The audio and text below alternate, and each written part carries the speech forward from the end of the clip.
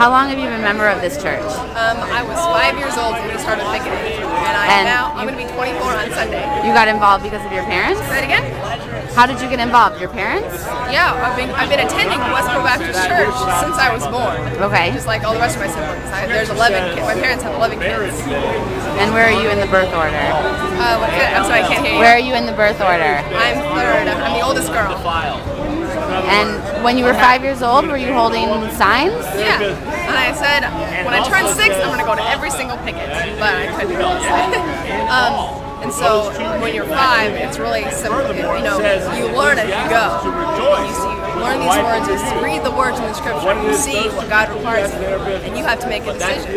Are you going to do what God requires of you? Are you going to obey Him and incur His blessings? Or are you going to say, this is too hard for me. I can't take this. Everyone hates us. Throw up your hands, say, and say, and just admit, I want the praise of men more than I want the praise of God. Are you going to bring someday, will you bring your children to these pickets? if I ever get married and have kids, and if I, you know, I, I don't ever foresee myself getting married and therefore not having kids.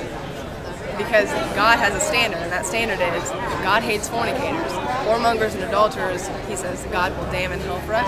So if I don't get married, I'm going to be a virgin for the rest of my life, and I am just good with that because I know that I have a Doesn't duty. God also say that you should be fruitful and multiply?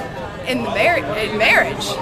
If I'm not married, that's how I'm not going to do it. And here's the thing: there is not a single person on the landscape of this generation who has a clue what God requires of them and doesn't give one care about obeying the standards of God. And that is the. And I'm not going to be. It says. It says, "Be not unequally yoked together with unbelievers." So I'm not going to put myself in a position I where I. understand the disposition about not wanting to get married because you don't feel like there's anybody who can share And your conviction. but not just that.